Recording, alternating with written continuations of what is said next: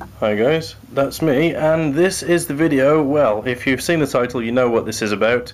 Uh, this is the video where I choose, or rather, randomly select the winners of my competition. The guys will be getting my magnetization kits.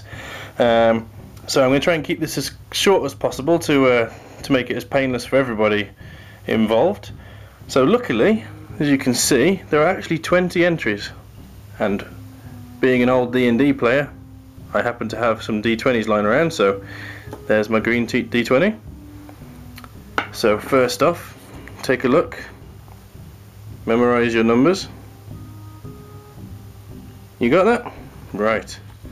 Let's place that back down. Uh, now this isn't feeling uh, like enough of an occasion, so uh, that's better. Hopefully no one's feeling sick from the sight of that.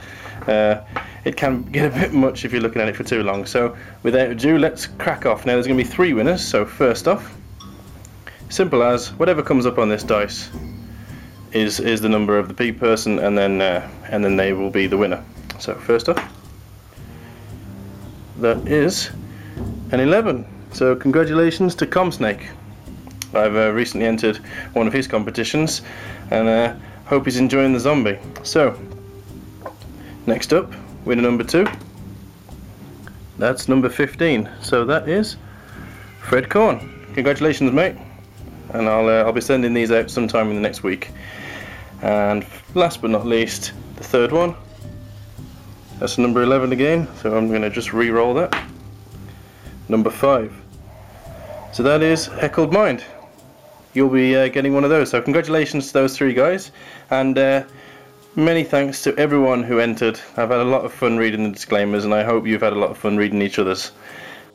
Now I'm not one to pass judgment but uh, some of you guys are odd, odd people. That's all I'm going to say judging by the, uh, by the disclaimers that were entered and on that note I will uh, wish you good health and uh, I'll see you in the next one. Stay well guys.